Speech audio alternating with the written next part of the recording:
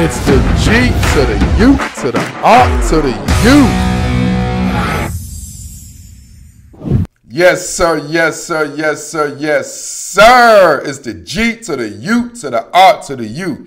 So now we're going to talk about the um, Detroit Lions, Dan Campbell and um, and company going against Matt Nagy and the Chicago Bears. All right. So when I was watching this game, it, it was obviously it was an ugly game. It was a nobody cared. You know, Nagy and and Justin Fields making his, his start. So what I was thinking about this game is there was this saying in America. There's this saying that says, you know, the grass is not always greener. And a lot of the times you might hear this and you might be quitting a job or you might be thinking about leaving your job or whatever whatever situation. in. But for me, I kind of hear that quite a bit in a job scenario. And then people always say, oh, don't quit this job. The grass is not always green on the other side. All this and that. And I'm like, damn, bro. I, am a city boy. I don't even see grass. But anyway, that's another topic. But the saying, the grass is not always greener. I, I don't believe in that. I don't believe in that saying.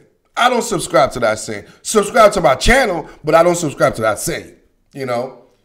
So that's exactly how I felt the Chicago Bears organization should feel about that saying. Because their field is greener. Yes, the field is greener. Justin Field is greener, yes, than the latter. Yes. Who you going to call? Um, uh, Nick Foles? Nick Foles is you gonna give it to Nick Foles? Oh no, no. We already seen the grass in Nick Foles. It's a dirty grass. Dirty, dirty grass. Andy Dalton? Oh no, no, no. We already see that grass. That's that's that's we got that's snakes in the grass right there.